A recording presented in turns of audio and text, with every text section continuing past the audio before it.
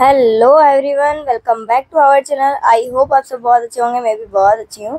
आज मैं एक नया डिज़ाइन लेके आ गई हूँ। ये है भरमा डिज़ाइन, जो कि आप अपने ब्राइडल्स को काफ़ी अच्छे से इसे लगा सकते हैं।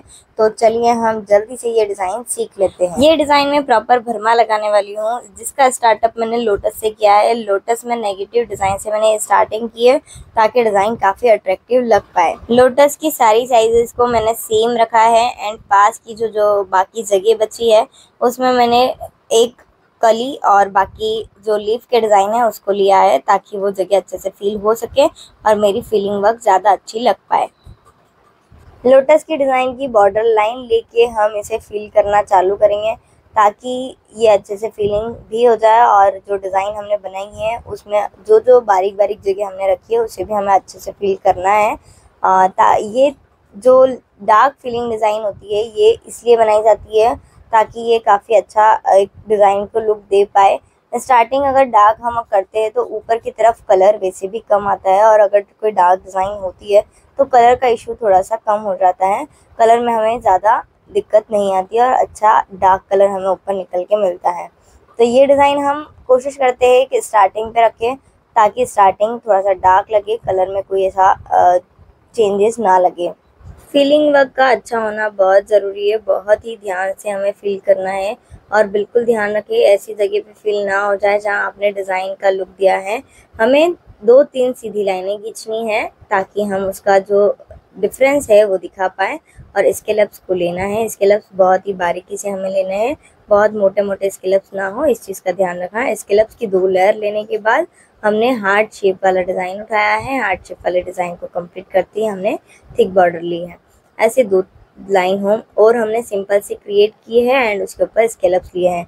इसे हम बोलते हैं एंडिंग बेल्ट डिज़ाइन के एंड करने पे जो हम बेल्ट बनाते हैं, वो है ये। इसे हमने कंप्लीट किया है एंड हमने बैंड का डिज़ाइन उठाया है। बैंड के डिज़ाइन में दो डिज़ाइन हमें एक बेल्ट के डिज़ाइन में दो डिज़ाइन हमें फिल करनी होती है, जो कि हम इसमें करने वाले हैं।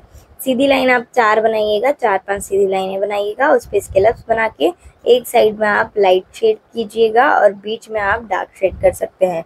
लाइट डार्क के कॉम्बिनेशन को आपको बैंड वाले डिज़ाइन में दिखाना होता है ताकि वो एक अट्रैक्टिव सा लुक आपको दे पाए।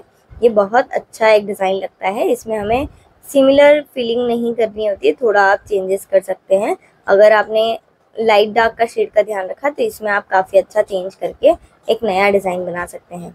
बैंड का ये डिज़ाइन मैं कंप्लीट करते ही दूसरा नेक्स्ट डिज़ाइन उठाऊँगी। उससे पहले मैं ये ध्यान रखूँगी कि मैंने जो चेक्स का डिज़ाइन लिया है, वो एक डार्क चेक्स का डिज़ाइन होना चाहिए लाइट नहीं होना चाहिए। मैंने उस चीज़ का ध्यान रखते हुए ये चीज़ बनाई है। इसमें मैंने थिक चेक्स का लाइन लिया है मतलब एक मोटा चेक्स का डिज़ाइन लिया है, ताकि लाइट डार्क का शेड इसमें दिख पाए और काफ़ी अच्छे से ये लुक दे पाए।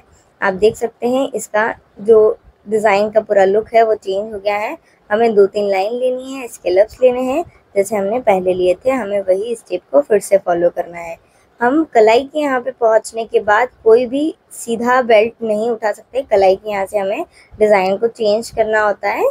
फिंगर के अकॉर्डिंग हमें पूरे हथेली के डिज़ाइन को कवर करते हुए फिंगर पे जाना होता है। तो इसलिए हमें कोई भी बेल्ट के डिज़ाइन को हमें सीधा नहीं उठाना उसके बाद हमें कुछ कर्व लेके और डिफरेंट एक लुक दिखना चाहिए, क्योंकि ये पार्ट हमारा मेन ऐसा पार्ट होता है जो एक हाईलाइट होता है डिज़ाइन में। इसमें हमने एंडिंग बेल्ट का एक टर्निंग पॉइंट के साथ एक डिज़ाइन उठाया है, एक कर्व के साथ एक बेल्ट का लाइन उठाया है, जिसे हम एंडिंग बेल्ट कहते हैं, और इसे हमने स्ट्रेट ना उठा के हल्का सा टर्न करके उठाया है। और जस्ट फर फ़र्स्ट फिंगर पे जाते हुए मैंने लोटस के डिज़ाइन को उठाया है। लोटस के साइज़ को हमें सेम रखना है ताकि वो बहुत ही अट्रैक्टिव सा एक लुक दे पाए। लोटस के डिज़ाइन को अच्छे से हमें लेना है। एक टर्न आप देख सकते हैं। एक राइट साइड देखा है, दिया है मैंने और एक लेफ़्ट साइड दिया है। इस तरह से ही आपको लोटस के डिज़ाइन को लेना है। एक राइट साइड फेस करते हुए एक लेफ़्ट साइड उसकी कली का डायरेक्शन होना चाहिए। वो अच्छा लगेगा। एंड इसमें आप जो एंडिंग बेल्ट है, उसमें आप डिज़ाइन को चेंज कर सकते हैं। आपको डिज़ाइन को चेंज करते वक्त ये ध्यान रखना है कि एंडिंग बेल्ट की जगह एंडिंग बेल्ट नेगेटिव की जगह नेगेटिव बैंड की जगह बैंड के डिज़ाइन को ही उठाना है। डिज़ाइन को चेंज करते वक्त हमें इन चीज़ों को ध्यान रखना है। कभी भी हमें ऐसा नहीं करना है कि हमें लाइट डिज़ाइन की जगह हमने डार्क डिज़ाइन ले ली। अगर आप ऐसा चेंज करते हैं तो आपके डिज़ाइन का लुक भी थोड़ा सा चेंज हो जाता है। तो आप कोशिश करें कि वो डिज़ाइन अगर आप थोड़ा सा चेंज करते हैं तो इन चीज़ों का ध्यान रखें कि सेम जो चीज़ आपने उठाई है, उसका अपोजिट वर्जन आपको उठाना है। हम लोटस के डिज़ाइन को भी एंडिंग बॉर्डर से कवर करेंगे, इसलिए हमने हल्की सी एंडिंग बॉर्डर डाल दी है एंड चेक्स के डिज़ाइन को हमने अपोजिट डायरेक्शन में उठाया है। अगर कोई डिज़ाइन आपसे चेक्स का नहीं बन पा रहा है तो उसकी जगह दूसरे चेक्स के डिज़ाइन को आप उठा सकते हैं, जो आपको बहुत अच्छे से आता हो। चेक्स के डिज़ाइन में सबसे ज़्यादा इंपॉर्टेंट होता है कि लाइनें हम बहुत अच्छे से प्रॉपर एक सीक्वेंस के साथ ले पाए। बहुत अच्छे से लाइनें हमें उठानी है। कोई भी लाइन एक दूसरे में मिक्स नहीं होनी चाहिए। अगर लाइनें मिक्स होती है तो बहुत हम डिज़ाइन को मेसी सा दिखा देते हैं। इसलिए इस चीज़ का ध्यान रखें कि कोई भी लाइन मिस मिक्स ना हो। अगर ऐसा होता है तो आपकी डिज़ाइन अच्छी नहीं दिख पाएगी। आप ये देख सकते हैं, मैंने कर्व पे एक डिज़ाइन लाइन उठाई है। ताकि मेरा जो बाकी पार्ट बचा हुआ है फीलिंग वर्क के लिए, वो मैं एक पार्टीशन में कर पाऊँ, क्योंकि इतना डिज़ाइन हमें फील नहीं करना है, इतना ज़्यादा फीलिंग वर्क हमें नहीं करना होता है। थोड़ा पार्टीशन में अगर आप भरमा डिज़ाइन में फिलिंग वर्क करते हैं तो काफ़ी अच्छा आपका डिज़ाइन रहता है और काफ़ी अच्छा लुक वो देता है।